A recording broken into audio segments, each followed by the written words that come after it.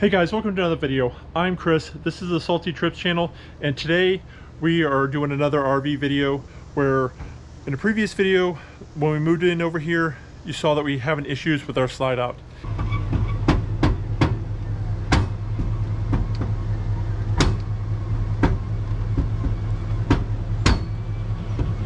It was not coming in or out properly and it was like skipping gear something was broken but we are going to go over it try to figure out what's wrong and uh, hopefully we got a good solution for it so stick around check it out.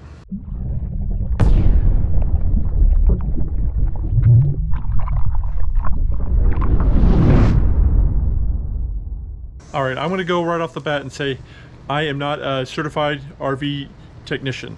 Um, I have been turning wrenches my whole life. I've been doing it for a living for 27 years, and uh, but not on RVs. But most mechanics are in general work on same a lot of the same principles.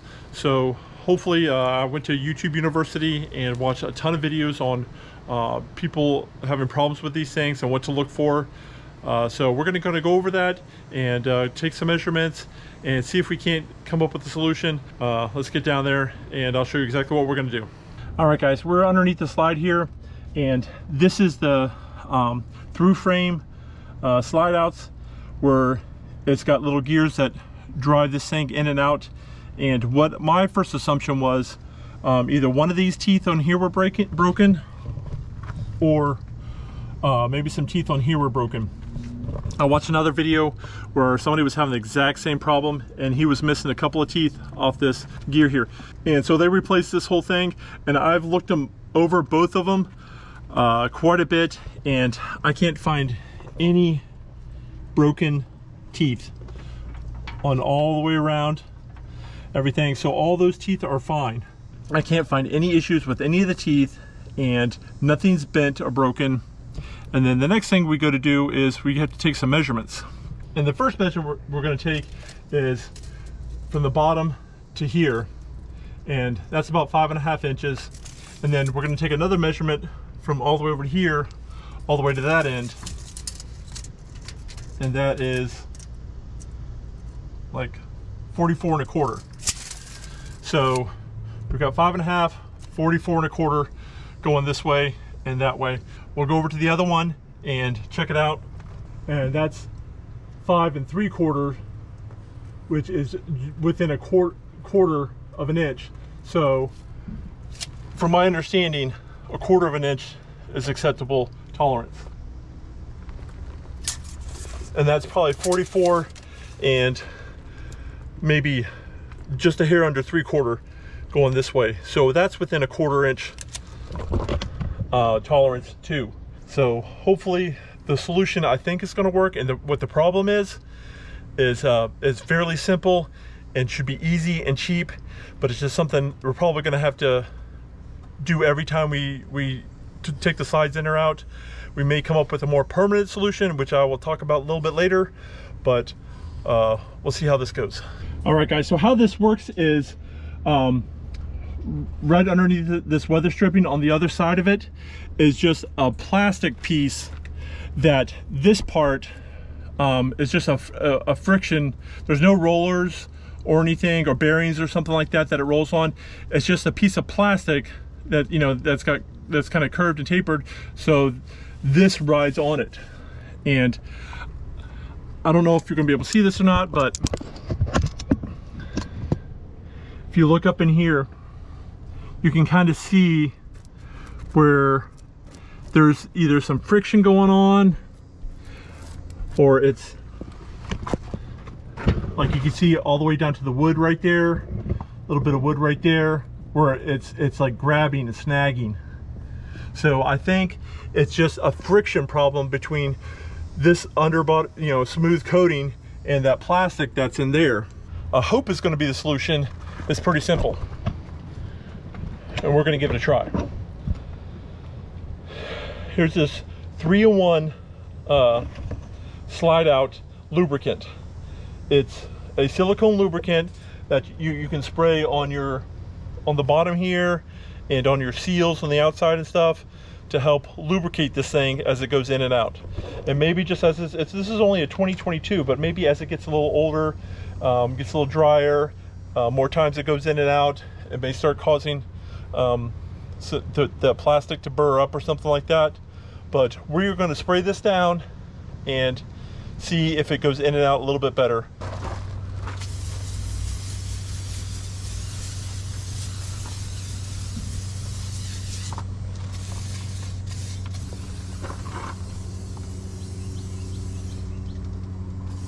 All right, so we're gonna get into the In-Command system, go to our slides, and we'll see how this goes.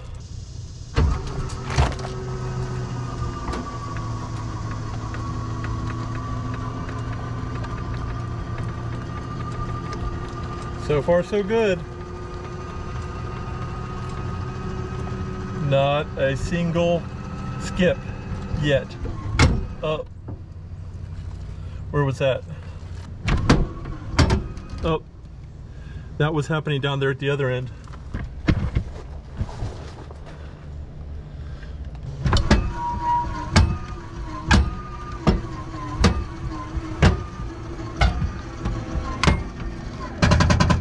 This is still has a gap.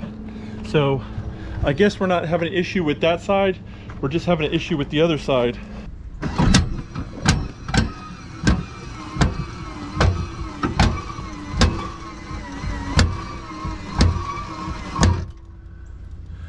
Yes, I think this is getting worn out and that gear needs to be replaced.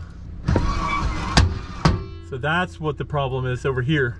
So basically that one is skipping down at the that end and this gear seems to be working fine. I thought this was the one that was having the problem, but apparently it's that end. Oh, maybe it might have been this one too, but the lubrication probably seems to help. So what I'm gonna have to do is, um, because basically the drive pushes that side out and there's a gear attached to it that runs down to this one that's attached to this gear. So that one's skipping, so it's not telling this one to turn when it's supposed to. So I'm just gonna have to push on this as it goes back out. And we're gonna send it back out and probably leave it out until we can get a replacement for that. So I'm just pushing this out with it.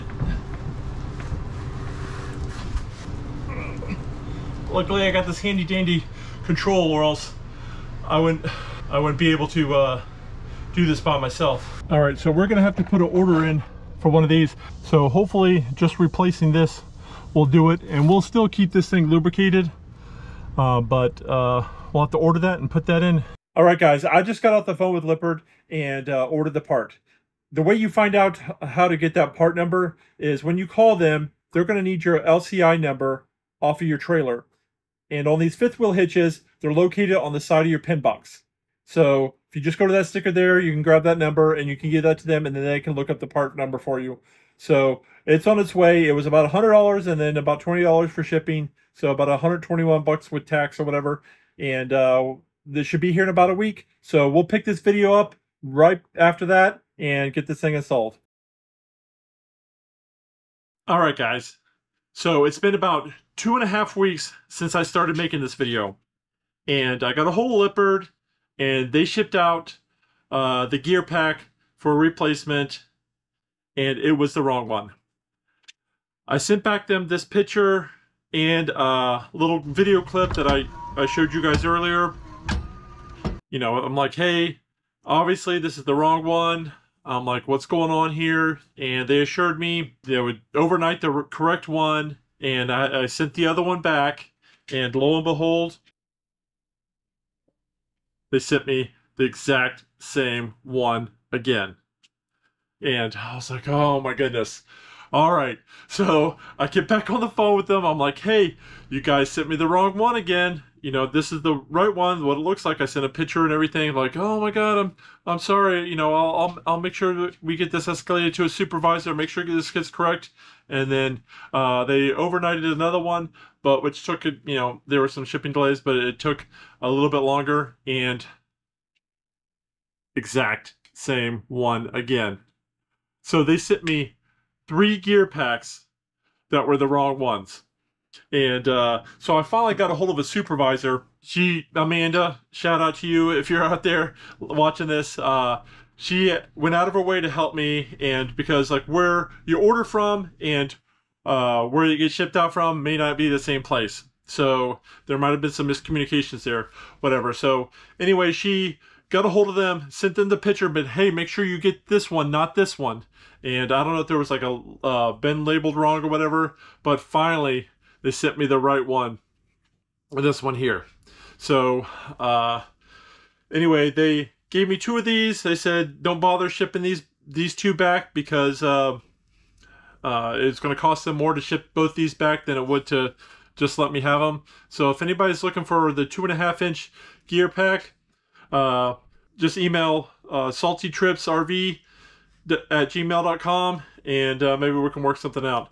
But apparently the the spindle and the gears are exactly the same. It's just a different width. There's two inch and two and a half inch. Anyway, so we got the right piece in. We're gonna go put that in and uh, hopefully this fixes our problem. But we'll get on there and we'll finish this up and uh, get this fiasco over with. Well, they say the first thing you need to do is if you're gonna replace a gear pack is make sure the slide is about halfway in because you have to jack it up a little bit and if it's halfway in it'll create a pivot point so that you can take the pressure off the gears.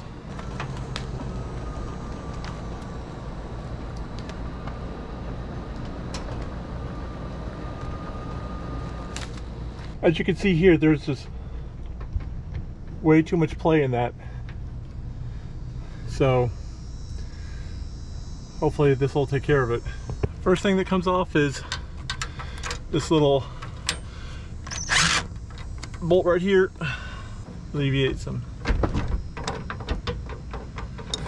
tension off of that. I'm gonna put this nut right back on the tip of it. Just tap it a little bit take that nut off so I can pull it out. And a good idea is to just put everything back together so you don't lose pieces and parts.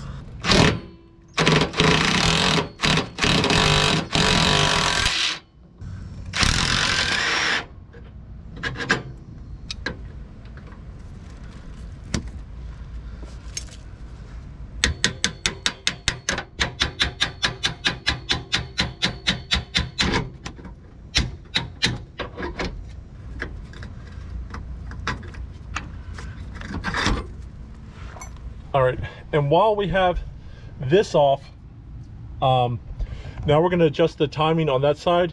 We're gonna take a measurement from here to here and uh, make sure that end is the same because we can just roll this. We can use the crescent wrench and turn it to roll that in or out so that this matches. So that when we put it back together, uh, the timing will be exact on both sides. So we'll do that real quick. All right, I just measured both of them and they're both like 31 and a half right on the dot. So we don't actually have to roll it in or out, but it's pretty simple. All you have to do is put this on here and twist this way for it to go out and that way for it to go back in.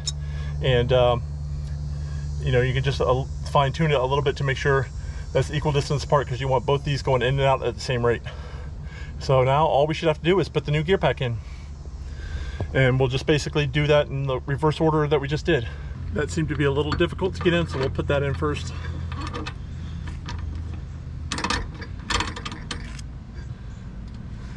And we'll just tighten everything up a little bit.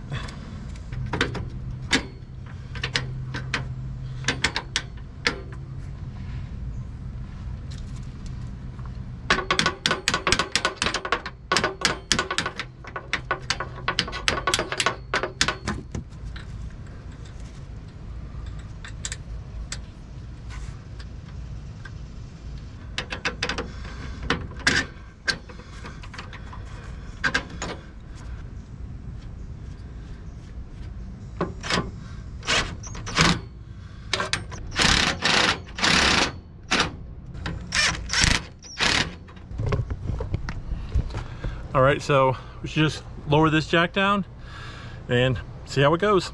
All right, here we go. I'm gonna go in, then all the way back out. Oh man, no popping yet. Oh, the sound looks good. I don't wanna.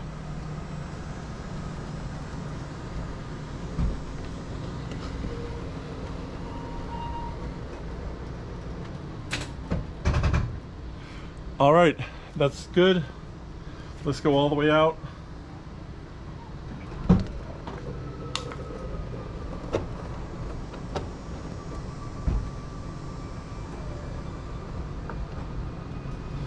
And so far so good. No gears jumping. The dogs are in the bedroom, so I hear them howling. And perfect. So that seemed to have done it. Um, wow, um, I'm impressed. Uh, that that wasn't too tough. Um, don't be afraid to do this. Uh, it just takes a little bit of elbow grease and a couple of wrenches and you can uh, fix your slide out. All right guys, so the slide's fixed, running smooth like butter, so that's fantastic. Um, thanks for coming along and uh, doing this with me. Hope you got something out of it. And if you have any questions, leave them in the comment section below. Thanks for coming along. If you want to follow all of our adventures with RVs, uh, full-time living, trucks, travel, towing, all that jazz, uh, hit the subscribe button, notification bell, let you know when all our videos come out, and we'll see you guys next week.